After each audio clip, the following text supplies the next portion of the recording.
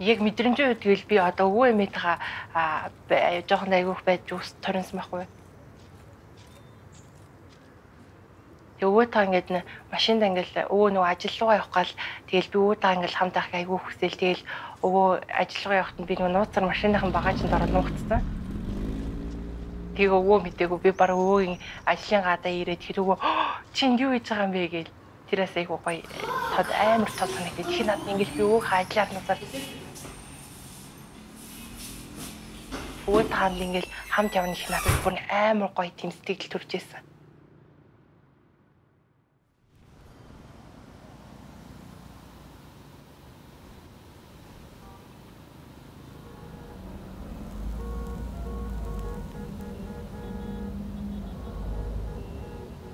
Заваа цагт өглөө босоод ерөнхий ажлыг хийчээд өдөр нь ажил руу явна. Тэгээ маш хичээлээ санах биш үү? Нөгөө хичээлийг сайн хэлэх. Ингээд тоглолоод байж заяа.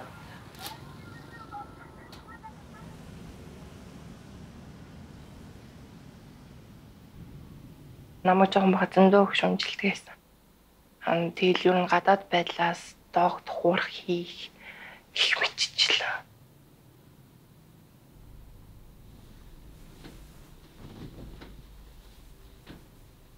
мэтчлээ. хоёрыг надад тийм ганцаарцсан дэлгүү мэдрэгдүү байсан.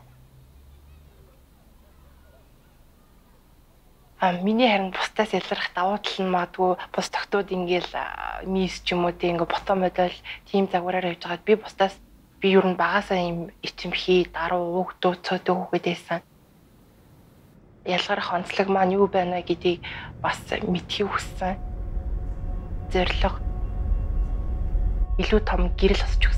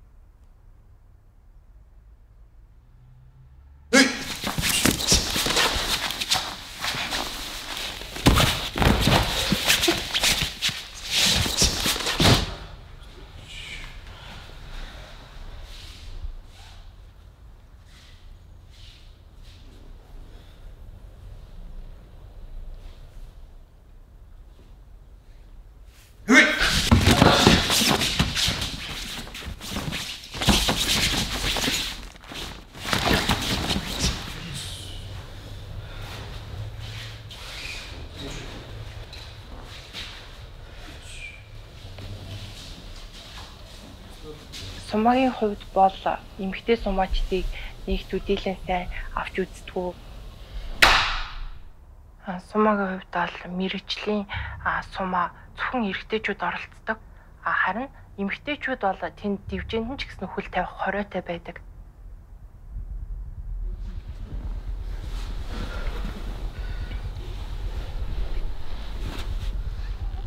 Хей!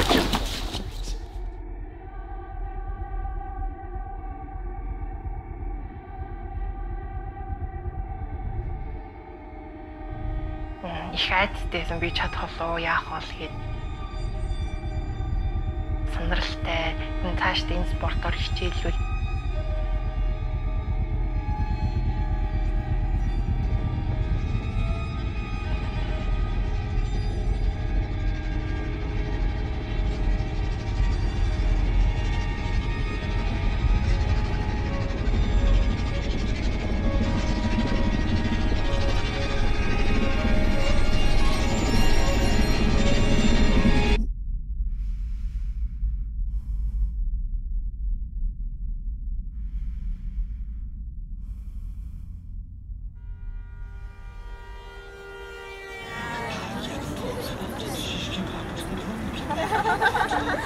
Oh, yeah.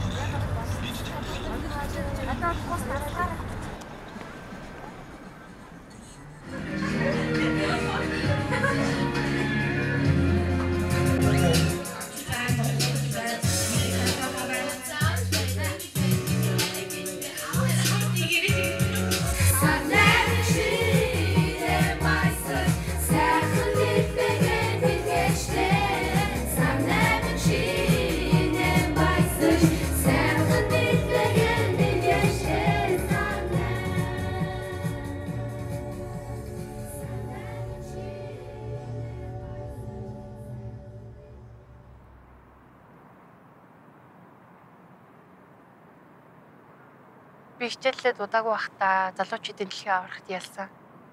Харин би болохоор энэ жил насны үргэлжчдийн тэмцээнд оролцсон. Аа насны үргэлжчдийн дэлхийн авраг болоход миний хувьд бас нэг том амжилтын гараа болж өгнө. Надад нэг үнэхээр их чухал бүх зүйл окей.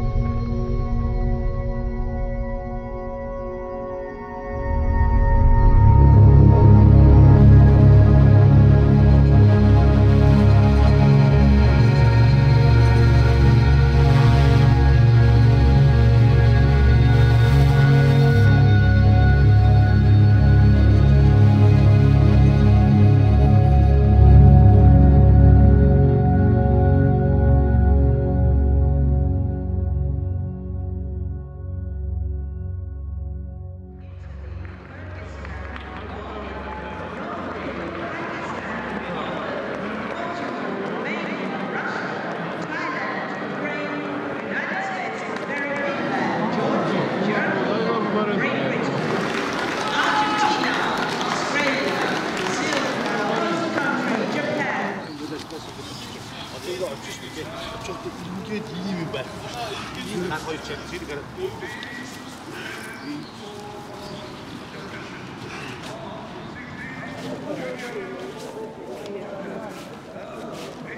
Du musst die Arschbacken zusammenkneifen. Komplett. Das war die gleiche Verkennung 500 Kilo groß. Kopf zusammen. Security, security, security.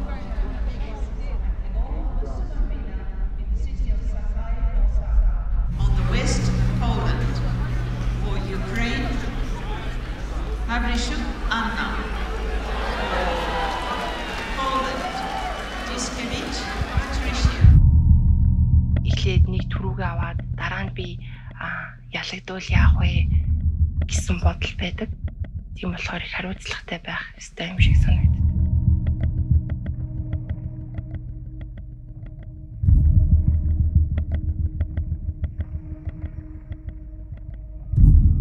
нэг хэмрэн боддог чинь юм бодоод эхлэхээр л одоо сандрал үүсчихдээ байхгүй юу?